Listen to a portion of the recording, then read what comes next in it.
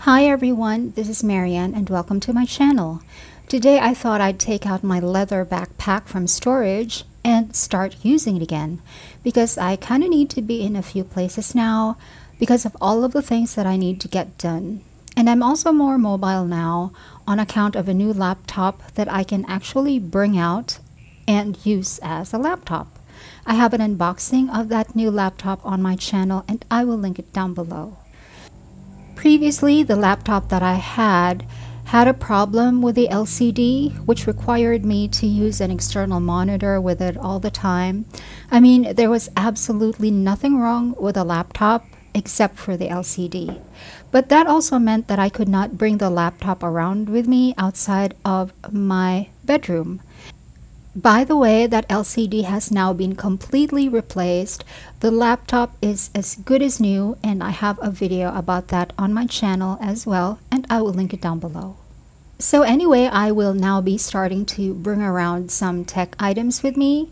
And when it comes to tech, a backpack is really the best bag to use because tech can get heavy, I do have a 13 inch MacBook Pro now, which is not as heavy as my previous 15 inch MacBook Pro, but it still is heavy. And I want to be kind to my back, so I'm going to start using this backpack now on certain occasions.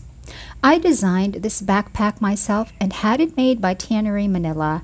I have a video discussing all of the features of this backpack and I will link it down below.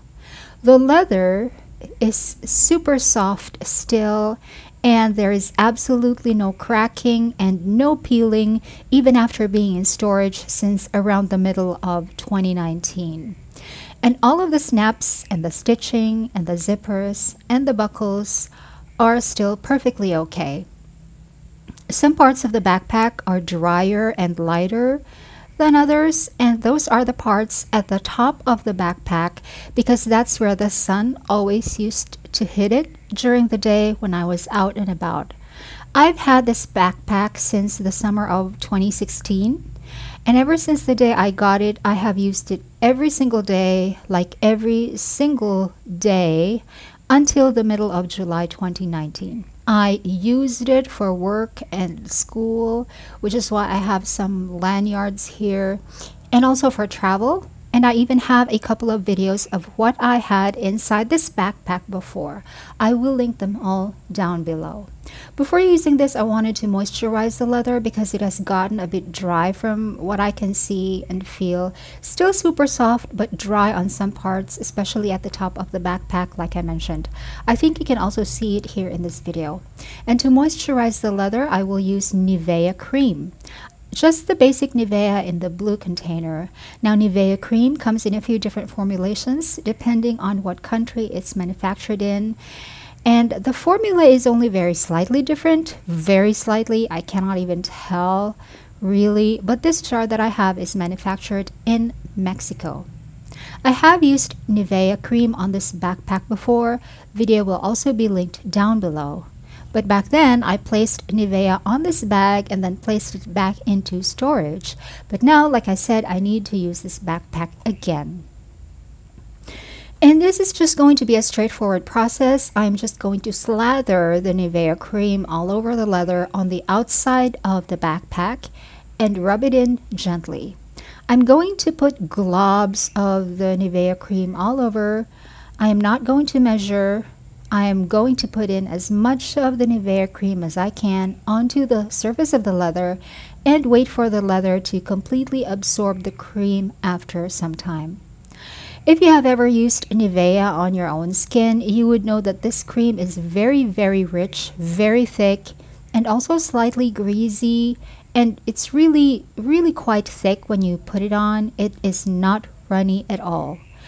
But after a few minutes after you have applied it, it liquefies, it becomes more watery, the cream kind of dissolves, and that is what your skin absorbs. The cream that has already liquefied to some extent. And that's always what happens when I put Nivea cream on my skin, on my face. And that is what I have also observed when I put the same Nivea cream on this leather backpack. And by the way, I do have a bag tag on here that I remember ordering separately from Tannery Manila, but uh, it's in the same leather as my backpack. The number, the phone number that's on the tag is no longer the number that I use. That number is not mine anymore. I don't even know if that number still exists. And as we go along, you can see that it looks untidy. The cream is just sitting on top of the surface of the leather, even after I have already rubbed in the cream. But later on, you will see that it's already being slowly absorbed by the leather. I really like this backpack a lot. It has been with me through so much, so many things. I also have a raincoat for this backpack. It is also in storage and I will take that out as well. I no longer take public transportation now, so I no longer have to walk really long distances in the rain under an umbrella when carrying this backpack like I used to do, but I still would use the raincoat because the leather here is not waterproof rainwater can still get into the things inside the backpack.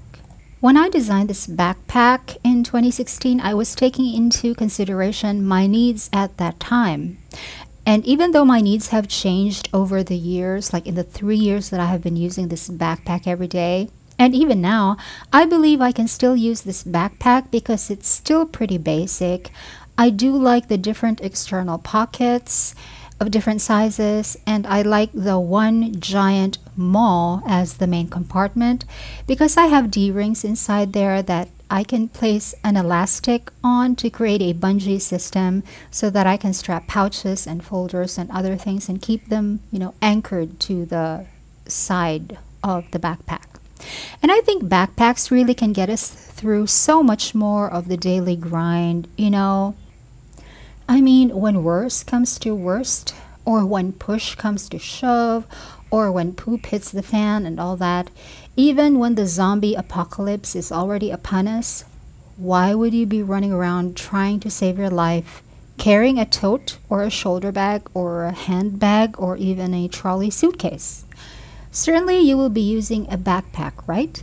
You will need both of your hands to be free to carry weapons or something like that. And you cannot have a bag that is slipping and sliding across your shoulders and your arms. But that's just me. I'm just being extreme. I tend to invoke the zombie apocalypse anytime I am aware that I'm already being extreme. And I do like tote bags for every day though. It's super convenient to take things in and out of the bag when I'm out and about for errands, which does not happen often, by the way. And I will still continue to use my tote bags, especially the smaller tote, the blue and cream striped one, the Rebecca Minkoff, for when I don't need to bring around my tech related things. I do have a video about that bag and I will link down below. But when I have to be kind of warrior like in an apocalyptic kind of environment, because of my three books July, I will be using this backpack. A video of my three books July will also be linked in the description box. And by the way, I would just like to mention here that leather is heavy by itself as a material. And this backpack is heavy when empty. I mean, while handling it, right now I can feel the weight of it. It's not as light as fabric, of course, but I don't mind. It is worth it, I think, in my opinion.